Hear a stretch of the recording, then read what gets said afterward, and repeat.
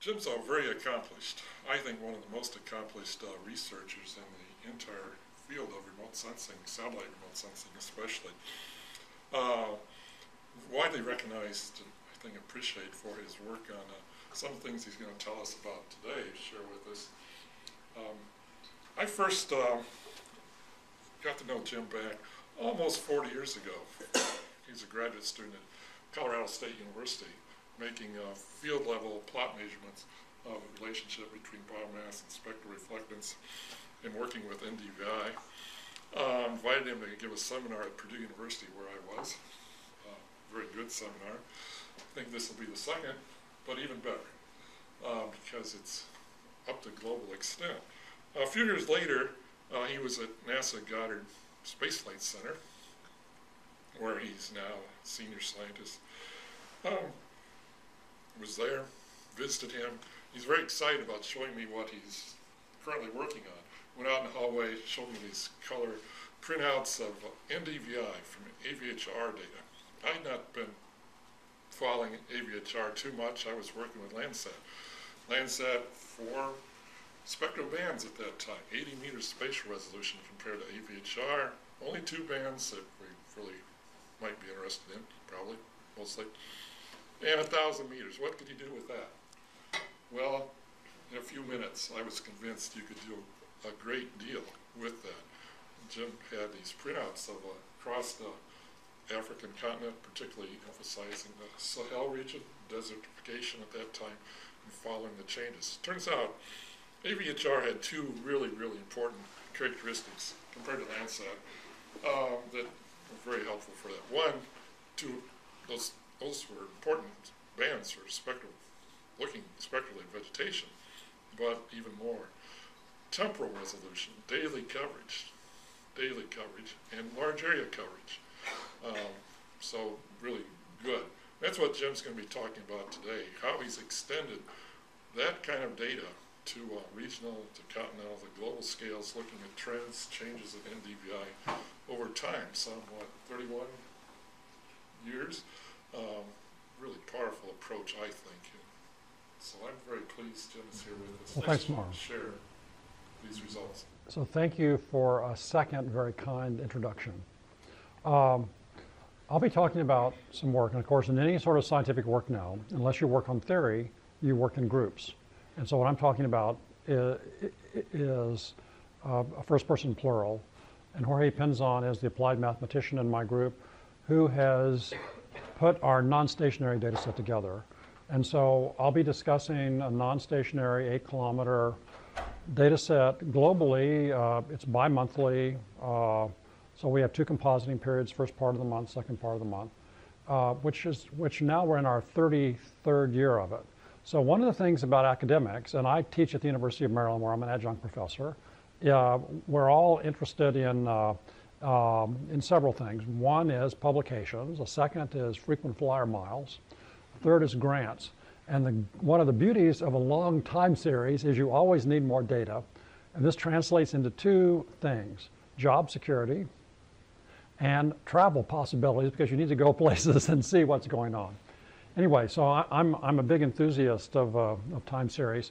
And I'll show some new results. And, and new results means within the past uh, several months from this um, um, a data set which runs from July of 1981 through December of 2012 now. Uh, okay, so when, uh, I actually did all my graduate studies for my, for my master's and PhD at Colorado State University in the grassland biome, studying grass vegetation, how, how, how to measure uh, total dry matter accumulation or the process of photosynthesis.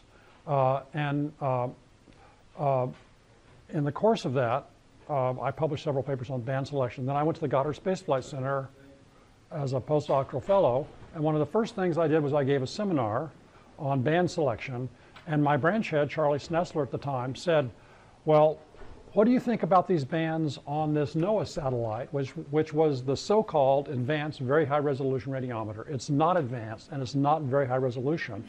It was designed probably maybe 1970 or something like this. So way before several of you here were even born. But anyway, one of the weird things about this instrument, um, was they had two bands which overlapped. So here's the first channel, which is the upper half of the visible, but then it extended into the infrared, and then there was this infrared band right here, and they overlap, and so therefore, um, I mean, any consideration of information theory, you need to confine spectral bands to where you have unique information. And there's no value to making them really broad because you average out a lot in, so it's, of information. So especially for vegetation and for many other things, where you have very strong reflectance here, you have strong absorption here, you combine them and it's a complete wash. So he said, go over and talk to the people at NOAA and see if you can't convince them, based upon uh, your work on band selection, to change this. So I went over and talked to a guy named Stan Schneider and another guy named Dave McGinnis and explained why these bands should be discrete. And they said, well, they would see what could be done. So they called me back and said, well, we've been partially successful. The bands are discrete, but I had advocated them being much, much narrower, uh, especially on, on, on the infrared band to avoid a water vapor feature. And they said, well, look, the bands are broad, uh, but um, we have some luck in, uh, and so then they were moved to still very wide or broad bands like you see here, but at least they were discrete. So um, then the next satellite in the NOAA series, which was launched, had this configuration for channel one and channel two. There were three emissive channels uh, as well, or three thermal channels. Um, and then uh, at the same time, uh, even though these bands are better, uh, they're not, uh, they're, they're far from ideal, but they still work. So this is just a comparison. Here we have these very broad bands on the AVHRR, and so they win the contest for being uh, the wide bodies uh, as compared to something like MISR, MODIS, SeaWiFS, uh, or even vegetation. But anyway, so uh, then I went to the Goddard Space Flight Center and started making handheld measurements, and I'll go back to that. So I'm going to jump forward and then come back.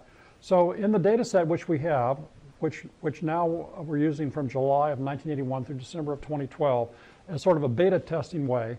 It involves data from the from instruments on NOAA 7, NOAA 9, NOAA 11, and then we had to jump back to NOAA 9, which had rocked around the clock because one of the features of the early of the NOAA 7, NOAA 9, NOAA 11 um, satellites was that they were not in a fixed equatorial crossing time.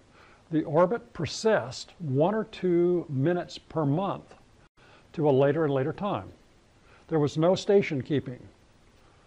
And uh, this is another thing which was weird about the NOAA system, but it worked out well because what was formerly an overpass time at 2.30 in the morning, by the time that NOAA 11 was up, and maybe six years or maybe 10 years after the launch of NOAA 9, NOAA 9 had rocked around the clock. So now there was a 9.30 in the morning overpass time. It was the opposite node. It was an ascending node instead of a descending node. But therefore, we could use those data rather than use data from, uh, from, from 5 o'clock in the afternoon from NOAA 11. So then we switched back to NOAA 9. Then we picked up uh, with NOAA 14, NOAA 16 and NOAA 18, and now we have we have the possibility of continuing the data after NOAA 18 with data from METOPS 1, METOPS 2, and METOPS 3 because these instruments, the advanced very high resolution radiometers, were manufactured in batches. So they got the cost down to 50 or 60 million at the end of the run. And then NOAA gave three of them to the Europeans for their polar orbiting meteorological satellites which are called the METOPS satellites. And so they are now flying, their imager is an AVHRR instrument. So we have the ability to extend this data set, hopefully for four or five or six more years. Okay, so as a graduate student, the guy I worked for, Lee Miller, who I believe Marv knew, um, was really interested in trying to find out about um, photosynthesis and primary production to get it at, at, at, the biological mass produced as a consequence of photosynthesis. This is just the action spectrum of photosynthesis. Um, and uh, the reason that normalized difference vegetation index works is because you're able to get an, an, independent measurement of the energy that's absorbed in the visible spectrum which drives photosynthesis. And you simply normalize that by a band outside, but very close to this band in the red region of the spectrum. Okay, so um, when I went to the Goddard Space Flight Center, I quickly realized the travel possibilities of a handheld radiometer. And so the first summer I was there, I, I, I went on a tour at my own expense as a postdoc to Iceland, England, the south of France, and also the northern part of Sweden. Uh, having published a paper, uh, the people I worked with didn't write up or publish the work which they did on, on, on their handheld instrument or on the spectrometer which we used. So I said, look, I'll be happy to write this up for you. Uh, I'll handle all the reviews and things like this, and, and, I'll make myself the most junior author just to get the work out, and I'll put in a few examples of data which I'll collect with the instrument.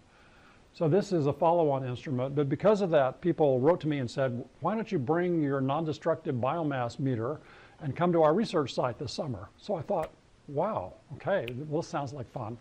So I did, and in Iceland, and working with people there, conditions changed all the time, but uh, the normalized difference vegetation index was very stable under direct light, indirect light, a mixture of the two. And so I thought, wow, maybe there's something here which I could exploit in other ways. So then we started making some measurements of winter wheat um, to look at total dry matter accumulation in Beltsville, Maryland. And this is from a handheld um, experiment where uh, th these are three of 20 plots, and these, this is just the time profile. So we would look out of, out of our window if we saw a day like today at the Goddard Space Flight Center. Brent Holben and I would go out in the field, would drive out and make these measurements and come back, process the data immediately. And over the course of the growing season, starting in March, so this is um, um, in mid-March, starting here, um, and, and this was the behavior, things came up. There was a rain event here, which accelerated the growth then it dried out, then it rained again, and so on and so forth. But we found if you simply computed the area beneath these curves, um, it was highly related to the biomass. And this was the harvest of biomass. So we actually had a party doing this. We came in, we cut down all the vegetation, which is in the background, and then we weighed it. And when we formed this simple XY plot of our summed or integrated NDVI data versus the, the, the, the a destructively sampled above ground dry biomass of winter wheat, we were able to explain 80% of the biomass accumulation. This is a very narrow range experiment, so we were really encouraged.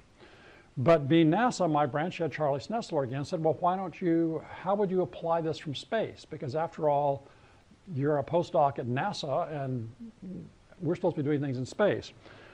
So when, Brent Holben and I wrote this paper, we mentioned the only satellite to apply this technique from was a time series instrument like the advanced very high resolution radiometer carrying instrument or uh, uh, satellites.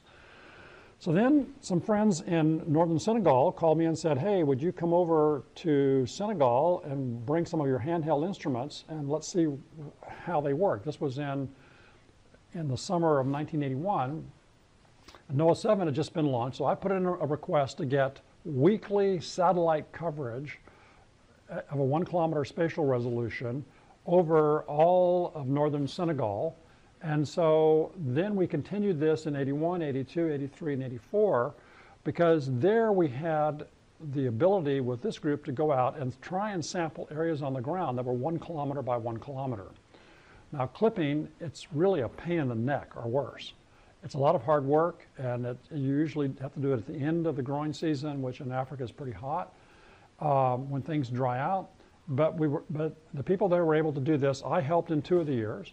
And this is a plot of all of the data we collected in northern Senegal. So now each of these points represents an area about one kilometer by one kilometer. And of course, you can't sample all the vegetation, so you have to only maybe have 20 or 25 one meter of plots within each of these kilometers, but, but try and pick, pick homogeneous areas. And this is how the data look. All the data are included, and so we were still able to explain about 70% of the variation. So this was a major success. Now, one of the reasons for this is that um, uh, just by coincidence, working on the south side of the Sahara, you have a monsoonal rainy season, which means the rains propagate up and it's, it's, it's, it's very constrained in time. It's maybe two or three months long.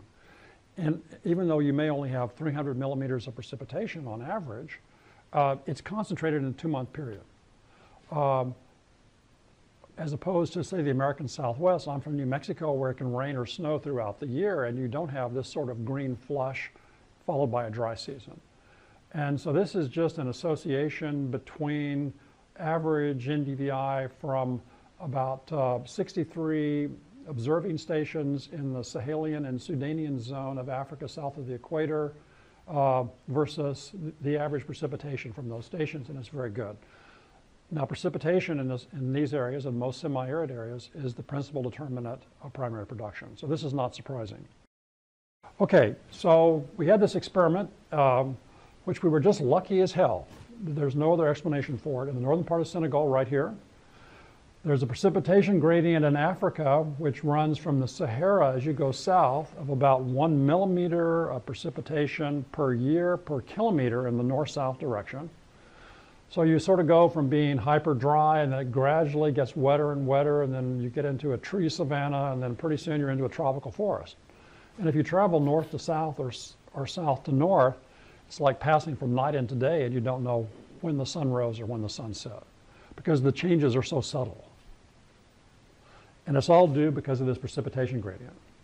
So uh, this then got us going. Things worked with AVHRR data, as you saw in that previous plot.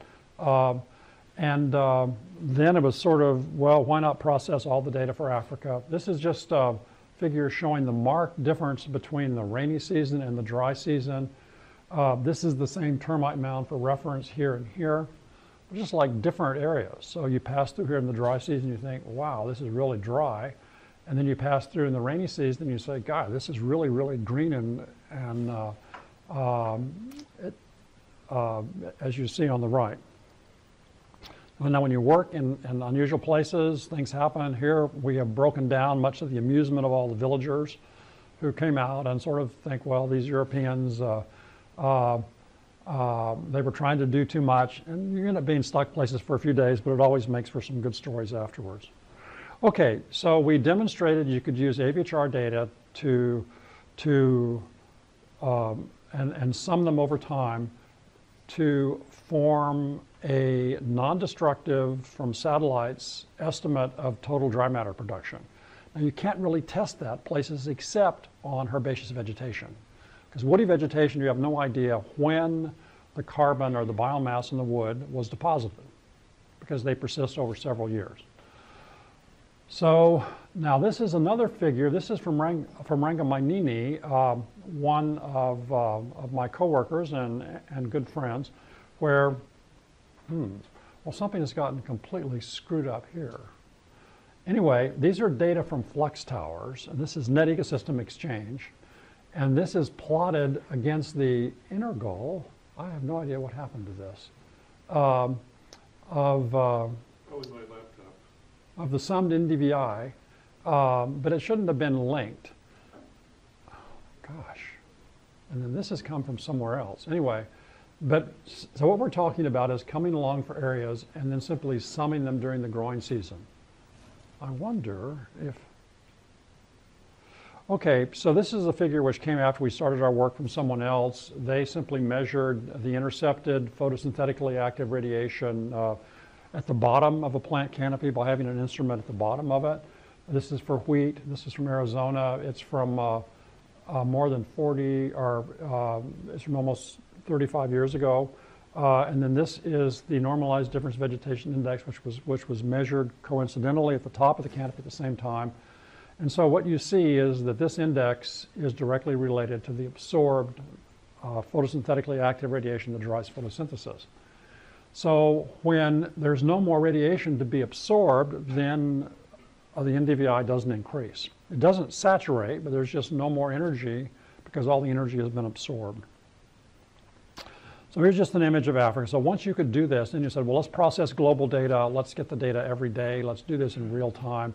And then all kinds of possibilities um, popped up. You publish papers on it. People write you and say, why don't you do this? We'll be happy to work with you. Why don't you do that?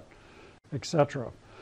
So now I'm going to talk about, uh, now we've extended this data set. Uh, uh, it's now in its 33rd uh, year, but I'll be talking about results from the data set from 1981 or 1982 through 2011 and 2012, papers that have been published within the past year. So Rasmus Fensholt, who's at the University of Copenhagen, uh, I was on his PhD committee, uh, and, and he's published a paper in Marv's journal recently comparing different data sets, and especially comparing our data set um, to data from the MODIS instruments. Now, in my opinion, MODIS is the gold standard. Anything I do, I compare it to MODIS data with, with our data set. Uh, and of course, uh, the MODIS data, the MODIS data from Terra start at the start of 2000 and run through the present. And from Aqua, they start uh, in 2002 uh, and run through the present. Um, so anything I do, I always compare them to MODIS. I view MODIS as being the gold standard. So this is their paper. And when they compared MODIS NDVI data to our GIMMS 3g in DVI data, in the blue areas are where you have an extremely high correlation between them. And in these areas, you have a very low correlation. Uh, so I looked at this and thought, wow, well, this is interesting. So I said, Rasmus, uh, why don't you compare MODIS Aqua to MODIS Terra and see how that looks? And so he did, and lo and behold, you have the same problem because of clouds and aerosols. So therefore, there are several points to draw from this. One is you need to be really, really careful when you're working in the humid tropics because of clouds and aerosols. And there's a lot of contention about two or three papers in the scientific literature right now. Did the Amazon basin green up during a drought or not? And this is a terrible place to try and use satellite data unless you're really, really careful. And I think that the results in several of these contentious papers are artifacts. And they're artifacts of clouds and aerosols. From biomass burning. Because when it's dry in the dry season is when you burn. And if it's a drought year, then people really burn. Yes. That it, um, when you clear tropical forest uh, for agricultural purposes, you clear it during the dry season, you let it dry, and then you burn it. Frequently, they don't even extract the trees, which are valuable for lumber because it would cost too much to get them out in many places. Sometimes they will selectively log and take a few tree species out. But um, um, usually in any hectare, there's only one or two species of any particular tree. Uh, okay, so that was something which Rasmus did. Then uh, I've been comparing some of our data to fluorescence data from, uh, from the GOME-2 satellite. Uh, and so I decided for the Russian drought to make some comparisons between these three larger areas and do this between AVHRR and MODIS to see how things would compare there. So uh, in 2010, there was uh, a very major drought in Russia in exactly those areas that I showed. Um, and so here is a comparison between data for, uh, for area three. Um, so just, so, okay, this is, is, area three, this is area two, this is area one. These are fairly large areas. You can see that they're uh, uh, 12 degrees by seven degrees of latitude, uh, six degrees by 6 degrees and uh, 14 degrees by 5 degrees of latitude and longitude. So these are pretty big areas. These are the time plots where we're looking at the drought year in blue, which is 2010. And this is the average of 2007, 2008, 2009, and 2011. It excludes 2010. And that's because the fluorescence data only ran from, uh, from 2007, uh, from 2007 to 2011. Anyways, so here for these three areas, you have the AVHRR data. Here you have the MODIS data. They're similar in character, but uh, there's slightly more sensitivity with the MODIS data. So then I numerically integrated these data and plotted them up, and people thought I had fudged this that I took this to my fluorescence coworkers and they said, we don't believe it. And so I did it again. I thought, God, I must have done something wrong. I went back to all my formulas, redid it.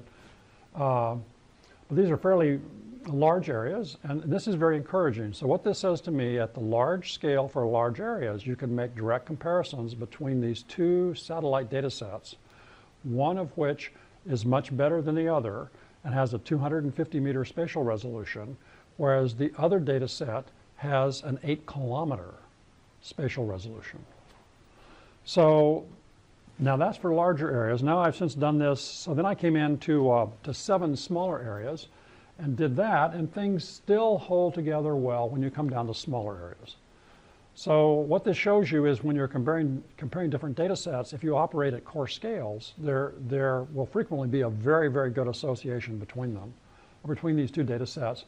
As you come down to finer and finer scales, then you are able to see more variation in the finer scale data than we have in our more generalized data with these very broad bands.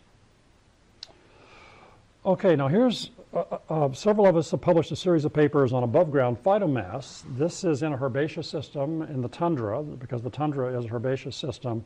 So um, uh, Raynolds, Walker, and Uma Bhatt are from the University of Alaska at Fairbanks. Howie Epstein is University of Virginia, and then Jorge and I are from the Goddard Space Flight Center. So this is what the tundra looks like. It's uh, nice and flat. It's in the far north next to the Arctic Ocean and extends inland from there. And so what uh, Skip Walker and, uh, and Martha and Uma have done is they've gone out with their graduate students and postdocs, camped out, and then sampled areas one meter by one meter. Uh, and they may do one or two areas a year to get a calibration point of end of season above ground primary production uh, in the tundra ecosystem. So here we have all of our destructively sampled areas in the tundra. Some are from Eurasia on the Yamal Peninsula in Russia. Some are on the north slope, on the north slope of Alaska in blue. So here are the data uh, compared to AVHRR data, our data set. Here are the data compared to MODIS data from the Aqua instrument, and here are the same biomass data compared to the MODIS data from the Terra, or the Terra MODIS instrument. And so they're all very similar, and this is very encouraging. This is why you have calibration areas. So that looks good. So then, um, any, any, anytime I use any MODIS data, I always compare the Aqua data to the MODIS data um, uh, from Terra. Uh, and if the two MODIS instruments don't agree, then someone has misprocessed the data. These are data which we process ourselves, and uh, uh, uh, so this is one of the first things I always test to, to, make sure that both data sets are okay because they should agree. Okay, so then we took our AVHRR data, we were able to, to extend things back to 1982, and now I've extended them back to 1981, and we look at trends in the tundra area, and this overlay right here and on around like this is uh, based upon vegetation mapping is what we looked at. So if we go from 1982 to 2010, there was about a 20% increase. And if we go from 1981 to 1982 to 2010, 2011, there was about a 16% increase. That's because when you're looking at trends, the endpoints really matter. So here's 1981, and then it falls down to 1982. Now our data only started in July of 1981. But fortunately, the growing season at higher northern latitudes is very, very short.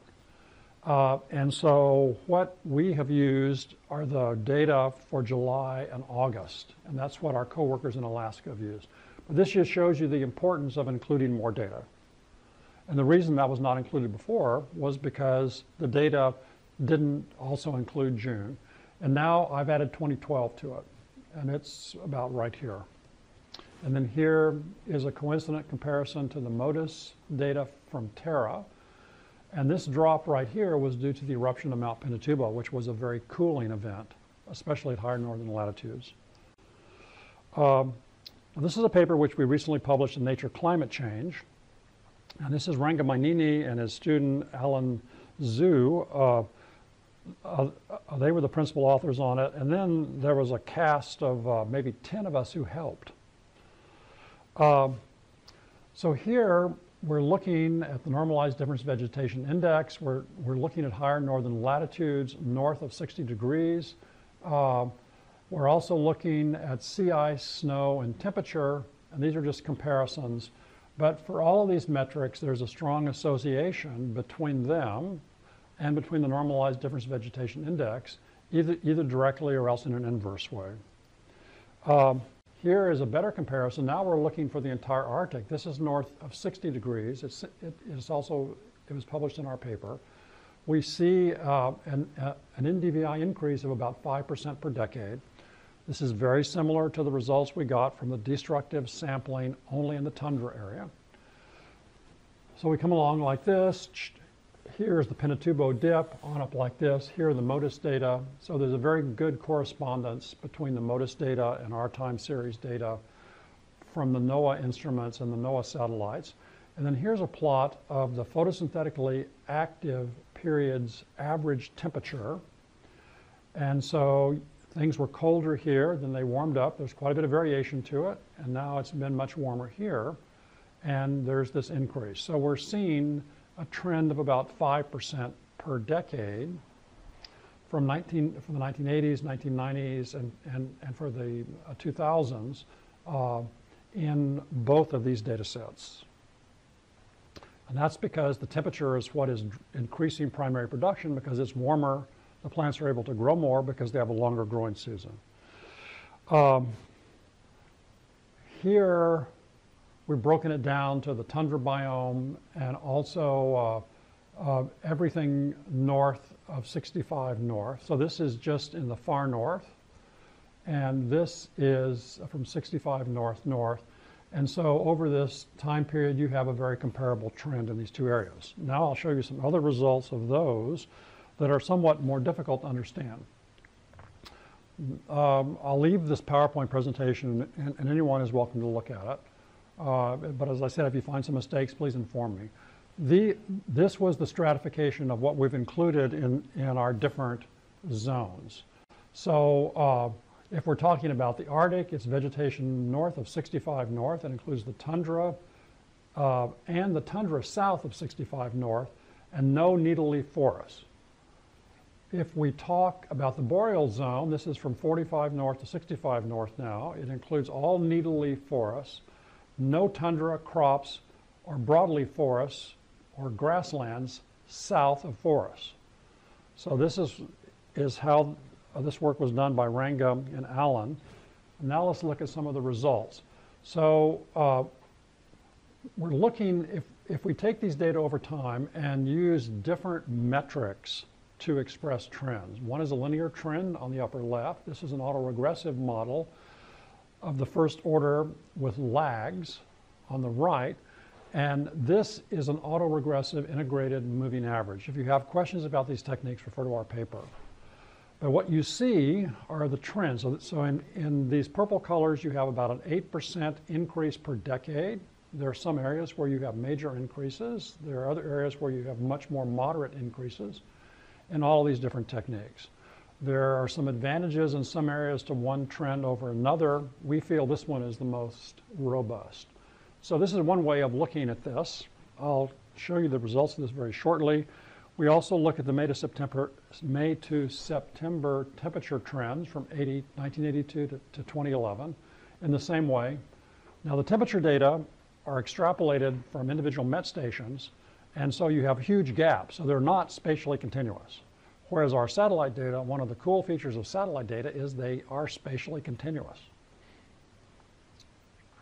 Now this is just a comparison. Uh, and the key thing is when you're comparing trends between the temperature data and the normalized difference vegetation index for the warm period, for the, for the, for the photosynthetically active period, if it's green, it means they both agree. They both had the same sign. If it's yellow, it, it means that, that, uh, that one agreed and the other, there was no trend in it.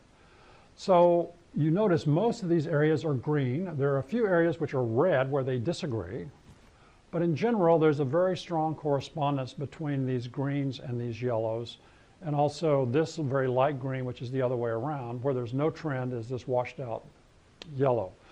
But anytime you do a study like this, you end up with more questions in some areas than you started with. Why is this this way? Why is that that way? Uh, and this is one of the, of the nice things about research. Frequently, you end up with more questions than when you started. This is no exception. Okay, now what we found, and this is a way of preparing you for the next two slides. Um, on the right in red, we have the zonally averaged photosynthetically active period mean temperature. This means that period of time when the temperatures were above zero, you had to have, uh, as the temperatures came along and they started to get above freezing for the daytime minima, or minimum temperatures, then you started your growing season until that changed, and you had daytime minimum temperatures colder or, or below zero centigrade. Um, anyway, this solid plot uh, is where we had temperatures in the third decade of our study, and these dashed temperatures are where we had temperatures in the first decade of our study. So this expresses the warming at higher northern latitudes.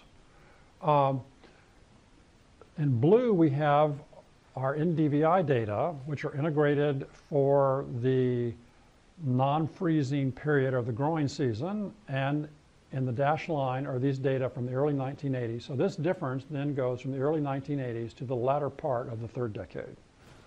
And so this expresses the warming in terms of temperature, and this is the associated warming uh, with respect to latitude from 50 to 75 north for those two time periods. So it's getting warmer and plants are growing more.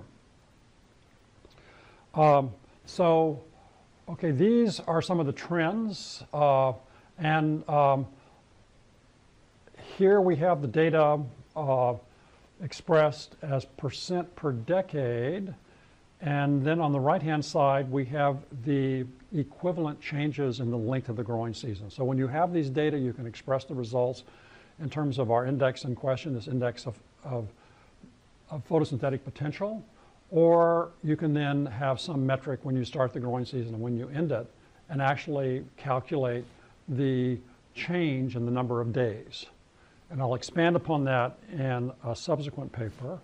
This, these um, sort of histogram plots of the probability density show the difference between different areas. And so uh, the important thing is that these are positive results. So this simply shows there was this large concentration of areas which increased.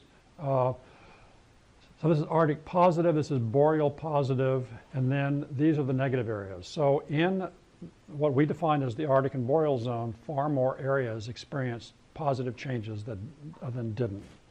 Um, the same uh, is over here in terms of the length of the growing season.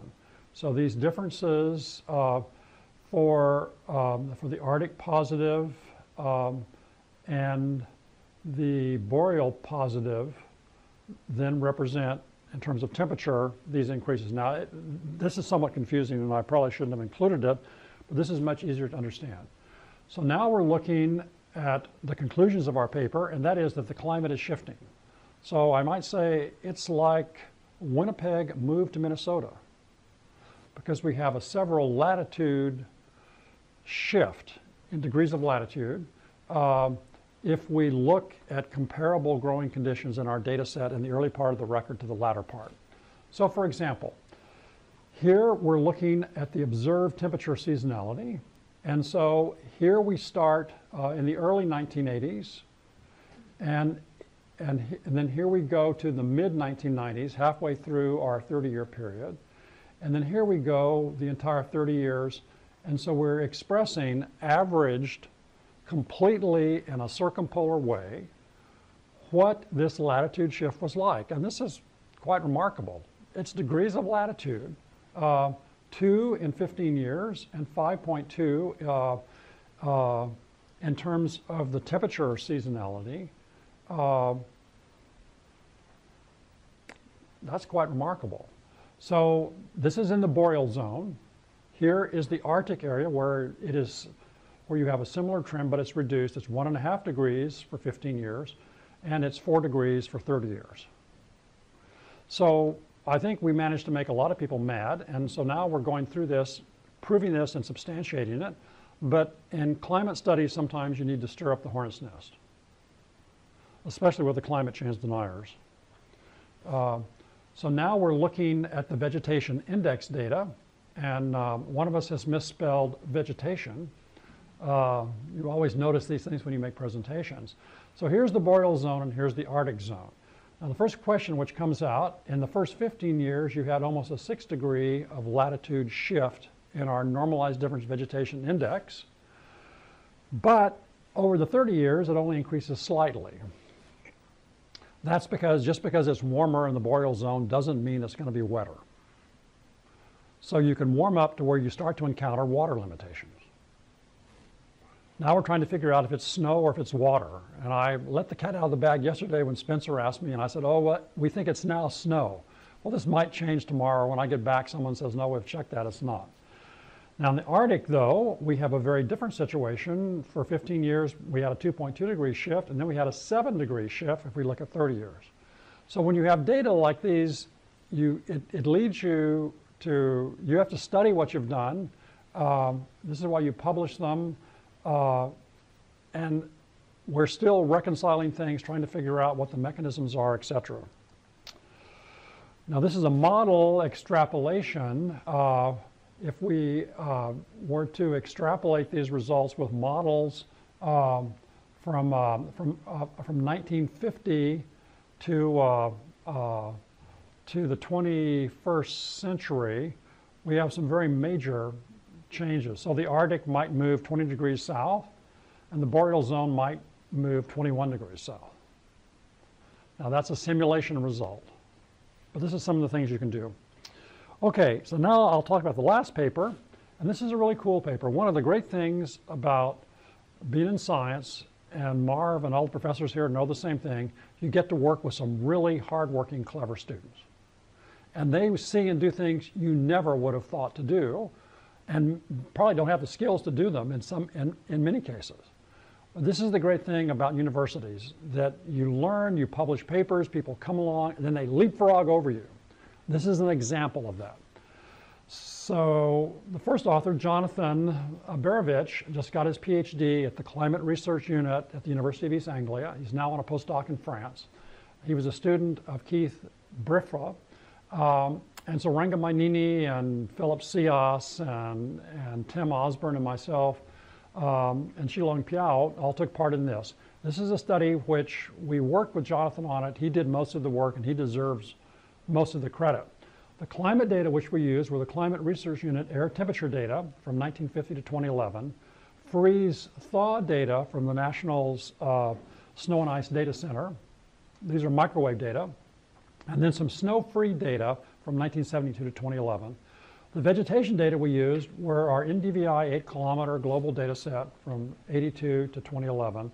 And then Jonathan also used the Point Barrow carbon dioxide data from the Point Barrow station, which measures atmospheric carbon dioxide.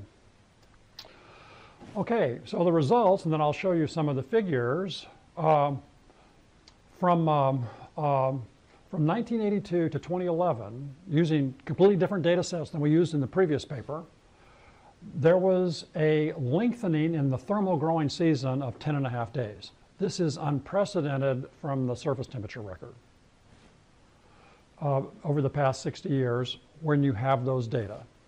Uh, but the curious thing was, it was about uh, 12 and a half days in Eurasia, but in North America, it was barely six days. So uh, um, we're not getting as hot as Eurasia, but perhaps we were hotter to start with. I don't know. Um, there was also very good agreement with the normalized difference vegetation index with our data set and carbon dioxide from Point Barrow in spring, but then things fell off in the fall. So we have no trouble determining the start of season, but at the end of the growing season, we call it now the autumnal mess. And we're trying to figure out, is it a photoperiod uh, constraint we're encountering? Or what exactly is going on? So once again, you perform a study like this, part of it works very well and part of it doesn't. So we're thrashing around about this. Now we also found a 22% increase in the amplitude, in the yearly amplitude from the minima to the maxima over this record of 1972 to 2011 a 22% increase in the drawdown amplitude of the detrended carbon dioxide data. Uh, and there was earlier spring CO2 uptake because the growing season started earlier. But in the fall, there was actually a net release uh, from respiration, which overwhelmed the drawdown as the growing season was ending. This was quite surprising to us. Now, I actually have a copy of the paper here, but uh, I suggest if you're interested in the paper, you should get it. And many of the figures are rather small. But I'll just look at some of the correlations, then stop and, and answer any questions. So in terms of seasonal NDVI and temperature, uh, circumpolar, we had this correlation. We explained about half of the variation between the, the thermal surface temperature data and our normalized difference vegetation index time interval. Um, we explain more, about 64% of the variation for Eurasia, and we explain less for North America, as I mentioned before. In terms of, of seasonal NDVI and net CO2 uptake, we don't do very well. So some things work well, other things don't. Um, now, if we look at the comparisons, which are actually quite good, between the freeze-thaw data and the Hadley Climate Research Unit surface temperature data, they are quite good, circumpolar, about 0.8, 0.8, and 0.9, respectively, for the circumpolar for Eurasia and for North America. In the spring and in the autumn, they fall off, 0.6, 0.7, and 0.5, respectively, circumpolar Eurasia and North America. So some curious things are going on, but with satellite data, we're able to at least identify where they are and what they are.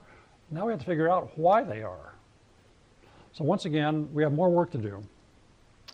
Uh, so this just shows you uh, where we stand in terms of the start of the season, 0.8, 0.8, 0.7 for circumpolar Eurasia, North America, in terms of the aggregate correlation, in this case, between the NDVI and the surface temperature data. So we get the start very well. Uh, the end of the season, 0.7, 0.45, and 0.46. So we don't do very well for the end of the growing season. But for the length of the growing season, 0.8, 0.8, and 0.65. So this, I think, is the last slide I have. No, this is the last slide I have, which uh, uh, shows the correlation between our integrated normalized difference vegetation index on a pixel by pixel basis and the peak to trough carbon dioxide um, amplitude at Point Barrow. So there's some areas that show a very, very high correlation, or actually a negative correlation, because as the amplitude drops, that means carbon dioxide is being absorbed. And that's why you have this negative relationship. so I'm curious what's going on in Finland and Sweden, and maybe this area, as opposed to other areas. So once again, we've ended up in a situation where we have more questions than answers. So thanks for your attention. Uh, uh, if you're interested, I'll leave this. You can see the papers. Uh, one of them is in Marv's journal, this paper by Rasmus Fensholt and Simon Proud. But they're all uh, interesting papers. The one in Global Change Biology, um, which Jonathan is the first author on, is a very substantial paper. And uh, there's a lot of cool information about climate, the use of satellite data, these various data sets which were used, which I'm sure can be used for other things too. So thanks. Jim, that was excellent. You've made a lot of progress Yeah. in, in these years working with NDVI. I, I think there's some very significant results here. Now, some questions from you folks.